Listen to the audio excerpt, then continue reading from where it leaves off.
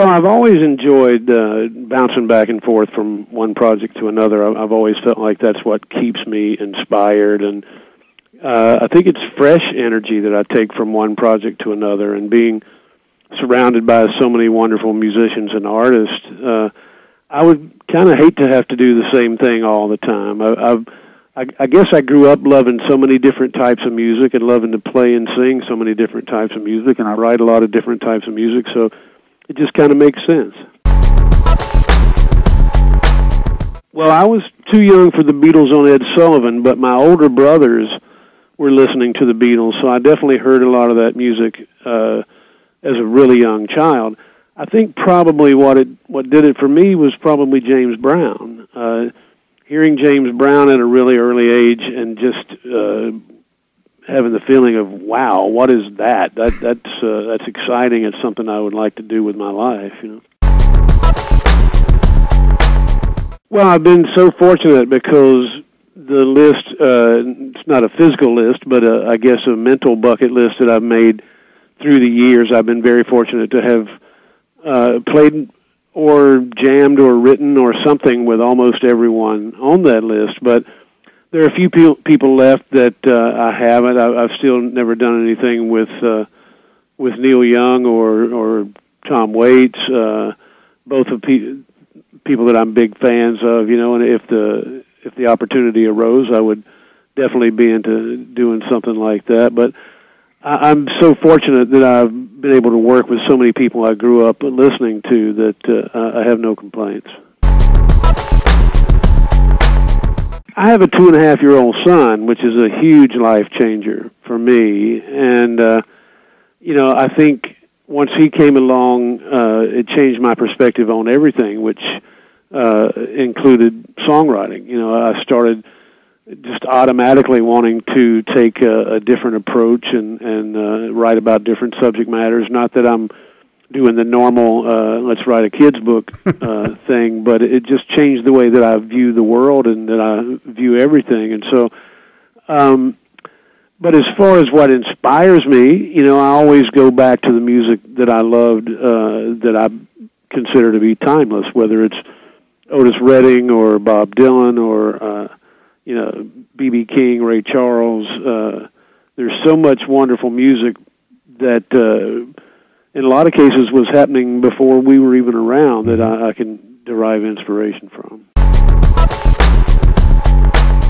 Well, a, a lot of my friends in the industry, you know, people like Ray LaMontagne, who uh, I really admire a lot, uh, a lot of the people that appeared on the new Government Mule uh, CD, Shout, we have a a bonus disc uh, with Shout that has 11 guest vocalists, mm-hmm. each interpreting uh, our music, and it's people like Dave Matthews and Ben Harper and Grace Potter and Jim James from My Morning Jacket, um, and Myles Kennedy and and uh, people like that that uh, that are younger than me that I really enjoy listening to. But it also includes people like Elvis Costello and Dr. John and Steve Winwood, uh, and you know people that I that I grew up listening to. Um, I, I really think a lot of uh, what excites me is is just having a wide uh, array of taste and and listening to so many different types of music. You know, I, I listen to Bob Marley, I listen to John, John Coltrane, I listen to George Jones. It just uh,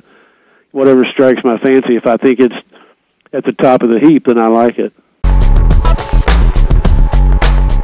For the past three years, we've been talking. Uh, the entire band has been talking about making the 45th anniversary, which is this year making this the last year. And uh, the, actually, the way it's been presented in the press is is a little a little unclear and a little distorted um, because it is a, a group decision that we've been talking about. You know, I know some people are having second thoughts, but I, I think the majority of the band, if not the entire band at this point, is on the same page. That uh, you know, it's it's nice to go out on a high note and we all love playing music together. We all respect the legacy that the band has created, and and you know, walking on stage always feel like feels like a an immediate challenge and something that we have to rise to the occasion to meet. And I think it's mostly important to to not uh, reach a point where that's not the case because the band, long before I joined the band, and I've been in the band 25 years, the band has always said if it reached a point where it was becoming a nostalgia act, it would be time to quit because this band is more than that, and and uh, thankfully it hasn't reached that point. But I think we could all see it on the horizon and say we we got to pick the right time to to stop touring, and then uh, you know it's just a shame that that people aren't as as uh, clear about it publicly. We're going to be promoting Shout for quite a while because it it really only came out late September, Yep. so we're going to be promoting that record for at least another year. But we'll start working on a new Government Mule record as well. And I feel like the next one will be completely different. Uh, I feel like the direction that we've been headed collectively uh, in recent times is kind of kind of going back to square one in some ways, but kind of uh, visiting uncharted territory in other ways. I'd also like to start working on one of several solo records that I uh, intend to make over the next few years. Probably the next one will be very different from Man in Motion. I think it'll probably be uh, a little more singer-songwriter influenced, uh, contain more acoustic instruments, and and uh, it's something I've been been kind of waiting to do for a long time. But I also want to do a, a blues record and a jazz instrumental record.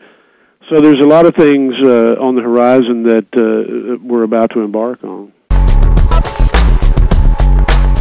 As you know, we don't play the same set list every night. We Right. don't know until the day before or even the day of the show what we're going to play that night. Uh, Beautifully Broken is a song that we enjoy playing quite a bit, and the audience uh, enjoys hearing. So it, it gets played fairly often. Uh, as far as whether it gets played in Sioux Falls, we'll have to see. Um, but uh, it's you know the inspiration behind that song.